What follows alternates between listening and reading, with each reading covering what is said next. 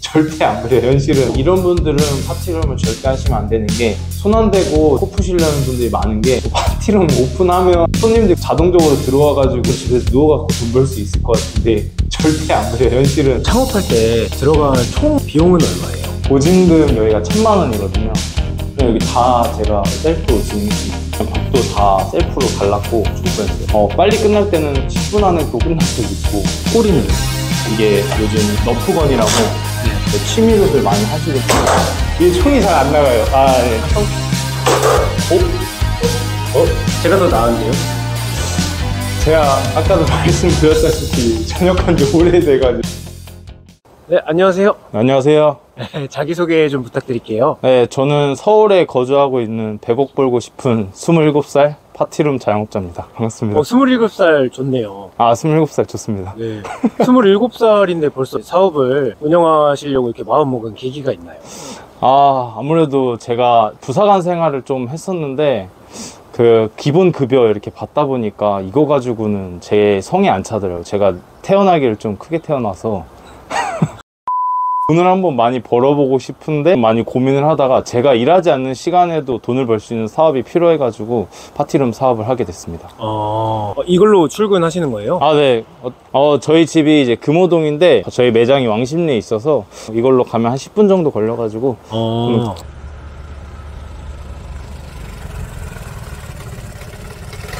어, 여긴가요? 어, 네, 여기에요, 지금. 네. 아, 생각보다 엄청 가깝네요.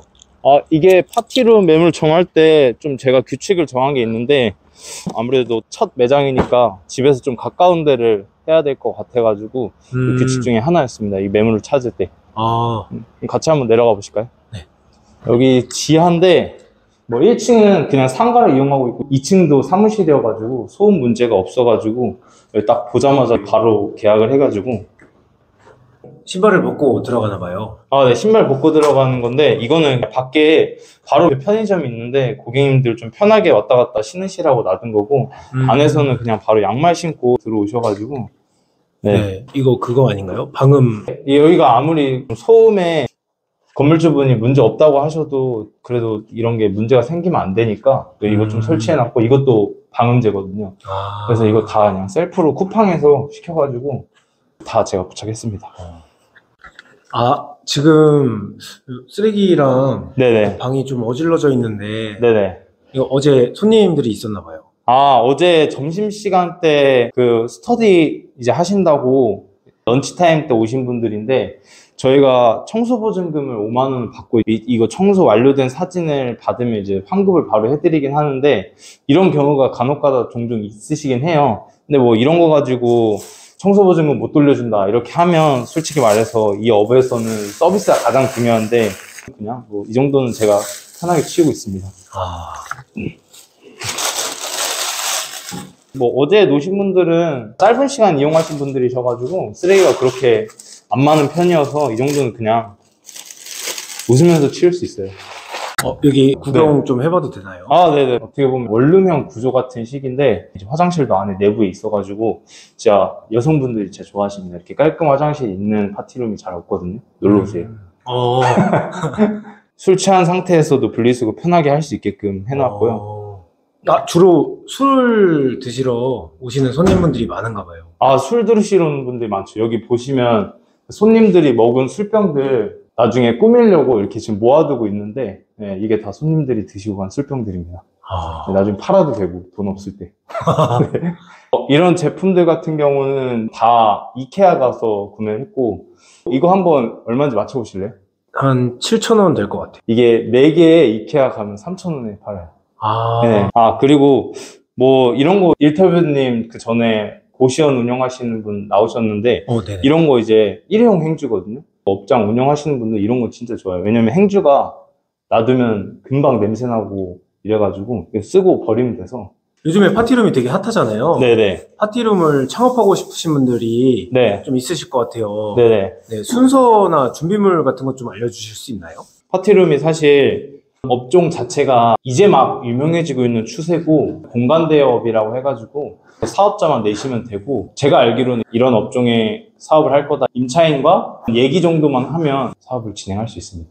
어, 네이버로 판매를 하시게 될 경우에는 통신 판매업도 필요해가지고 저는 사업자랑 통신 판매 딱이 두 가지만 내놓고 지금 하고 있습니다. 잠깐 보여드릴게요. 이렇게 해서 올려놓고 하면 지금 보시면 예약이 들어왔거든요. 지금 이 시간대가 예약이 차 있어가지고 네, 예약을 거절해야 됩니다. 어쩔 수 없이. 네. 얼마짜리 예약이었나요?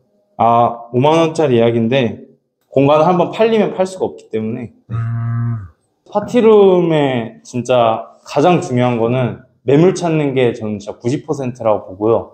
어, 우선 소음 문제가 되면 안 되고, 공간 자체가 좀 쾌적해야 되고, 아무래도 젊으신 분들이 오시니까 시설에 대해서 민감하시거든요.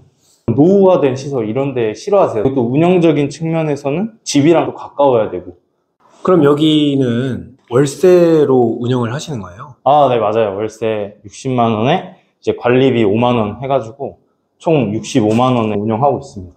어, 그럼 한 달에 65만 원 이상만 벌면 다 제 수익이죠, 다. 첫 달 수익이 얼마예요? 아, 첫 달은 사실 그냥 딱 간신히 그냥 월세 정도만 내는 수준이에요. 네, 음. 한 8건 정도 받아가지고 한 65만 원 정도는 낼 수 있을 것 같습니다. 아, 순익이 영원이라는 말씀이죠? 순익은 영원인데 이제 앞으로 발전 가능성이 있다. 아, 그러면은 창업할 때 들어간 총 비용은 얼마예요? 보증금 여기가 천만 원이거든요. 시설 비용이 한번 맞춰보시겠어요? 어느 정도 들어갔는지? 시설 비용이요? 네, 한 천만 원? 천만 원은 안 들어갔습니다. 500만 원? 500만 원도 안 들어갔습니다. 얼마에 하신 거예요? 네, 지금 보시는 게 다 전부 셀프로 진행한 거여가지고 300만 원에 꾸미고 다 세팅을 했습니다. 그러면 이런 조명 같은 것도 네. 원래 다 이렇게 설치가 되어 있던 거예요? 아, 사실 이렇게 설치되어 있지는 않았고 그냥 선 같은 거만 이렇게 내려와 있었는데 네. 가까이서 보시면 좀 굉장히 조잡하긴 하거든요. 네, 이거 그냥 여기 다 제가 그냥 구상해서 셀프로 진행했습니다. 지금 벽도 보면 원래 하얀색 벽이었는데 벽도 다 셀프로 발랐고 페인트를 사다가 직접 이렇게 바르신 거예요? 네, 진짜 죽을 뻔했어요. 근데 비용적인 절감 어. 측면에서는 페인트는 진짜 강추. 페인트는 무조건 혼자 바르세요. 만약에 업장을 운영하신다고 하시면. 어, 가구들은 다 중고로 산 겁니다. 어, 다 당근마켓으로 테이블이 이렇게 이 의자까지 해서 이 세트인데 이렇게 합쳐서 10만 원밖에 안 해. 어. 네. 얘네도 다 중고로 산 거여서 뭐다 만 원씩 만 원씩 그리고 이 소파가 이제 5만 원. 네. 이건 뭔가요, 이거? 아, 대형 빔 프로젝트를 지원하고 있어서 저희 또 이렇게 빔 딱 켜서 보면 기가 막힙니다, 저희가. 네, 이런 식으로 이쪽 벽면을 빔 프로젝트에 써야겠다 이렇게 구조를 짰습니다. 300만 원을 투자를 해서 네.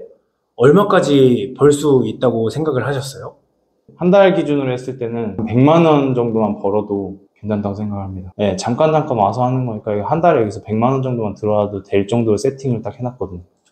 그럼 하루에 몇 시간씩 일하시는 거예요? 아까도 말씀드렸다시피 청소 보증금을 받고 다 청소를 해놓고 가시거든요. 그래서 저는 와가지고 그냥 이런 기본적인 거 그냥 살짝 먼지 쌓인 것들만 닦아주고 분리수거할 것들 위에다 올려놓기만 하면 되거든요. 그래서 이제 그거 올려놓으면 끝이어서 어, 빨리 끝날 때는 한 10분 안에 또 끝날 때도 있고 그렇습니다. 꿀이네요. 꿀이죠. 사실 이 업종을 꿈꾸시는 분들이 다 이런 걸 바라시고 하시긴 하는데 어떻게 운영하느냐에 따라서 또 다른 것 같아요. 여기 지금 하고 계신 파티룸 대여 비용이 얼마예요? 저희는 저녁 7시부터 저녁 이제 00시까지 해서 6만 5천 원 받고 있습니다. 어. 네, 그리고 평일 시간대 어떻게 보면 보너스 수입이어서 이런 뭐 유튜브 찍는 분들, 라이브 커머스 하시는 분들 이런 분들을 좀 타겟으로 해서 5시간에 15,000원에 저렴한 가격에 모시고 있습니다. 어, 어, 그러면은 12시까지 네네. 시간을 끊어 놓으면은 그 이후에 추가한다고 했을 때 연장이 되나요? 아, 연장 당연히 되고, 일부러 사실 그걸 노린 거예요. 여기 보시면 이렇게 신발 벗고 들어오고, 이렇게 앉아서 막 보드게임 하시고 이렇게 노시거든요. 네. 근데 그렇게 노시다 보면 아무래도 편하잖아요. 그 이후에 10시까지 연장하시겠다고 하셔가지고, 아, 들어와서 편하게 앉아서 놀아라. 술 먹어라. 술 먹어라. 술 먹다 보면 사람이 귀찮아지는데, 술 먹다가 그냥 편하게 앉아서 양말 벗고 놀다가, 이거 빔 스크린 보면서 놀다 보면 열- 금방 12시에요. 지금 여태까지 운영한 고객님들 100%다 연장을 하십니다.